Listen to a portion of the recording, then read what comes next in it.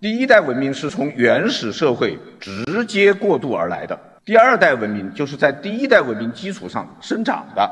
比方说，我们很熟悉的印度文明、希腊文明、罗马文明。那么，第一代文明有哪些呢？在东半球有五个。第一个叫美索不达米亚文明。我们知道，在亚美尼亚高原有两条河流出来，一条叫幼发拉底河，一条叫底格里斯河。这两条河都流向波斯湾，在这两条河之间。诞生了人类的第一代文明，比方说苏美尔、阿卡德、亚述、巴比伦，所以这个文明又叫两河文明。由于希腊人把两河之间叫做美索不达米亚，所以也叫美索不达米亚文明。美索不达米亚文明的标志是什么呢？第一有城市，第二有国家，第三有文字，而且还有他们的史诗。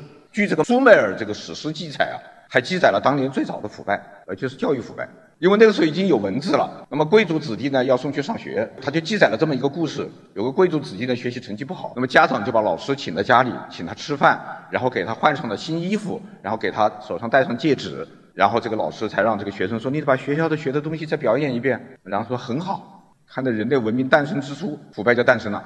不过在苏美尔啊，中国这没记载。第二种，埃及文明，美索不达米亚文明呢是幼格拉底河和底格里斯河之间，埃及文明就诞生在尼罗河流域，所以也叫尼罗河流文明。那这个我就不说了，大家很熟悉，什么金字塔呀、狮身人面像啊、木乃伊呀等等，是吧？第三个叫哈拉巴文明，哈拉巴文明又叫印度河文明。必须讲清楚的是，印度河文明不是印度文明，印度河文明实际上在现在的巴基斯坦。是印度河流域，而印度文明是诞生在印度河和恒河流域之间。印度文明是第二代文明，这个哈拉巴文明、印度河文明是第一代文明。而且很奇怪的是，第一代文明莫名其妙的就没了，它和印度文明之间还有几百年的空白，现在还没有发现，就还靠考古学去挖。我们之所以知道有哈拉巴文明，是因为考古学发现，在哈拉巴这个地方还有另外一座城市，挖出了几千年前的城市遗址。而且非常的先进，有地下排水系统啊，比较富裕的人家有自己家的独立卫生间，这是一个人类文明之谜啊，它怎么产生的，到哪去了不知道。第四种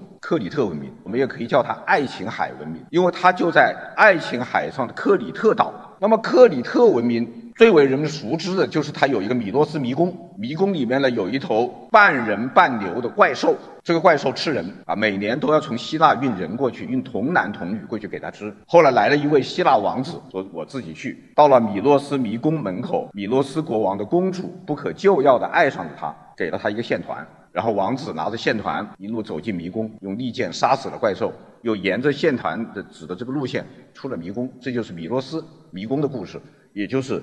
克里特文明的故事，第五种就是我们中国的夏文明。夏文明呢，它的证据在河南偃师市二里头遗址。至少我们现在考古学界的主流还是认为中华文明的源头在这儿二里头遗址。至于最近炒得比较热的三星堆，我是不敢乱讲，因为这个太专业了，我手上也没有证据，也没有数据，不敢说。人类。文明史上有五个第一代文明，那么这些文明怎么样了呢？美索不达米亚文明、埃及文明、哈拉巴文明、克里特文明，这些文明都消亡了，只剩下夏文明。城市和国家是文明的开端，请读国家。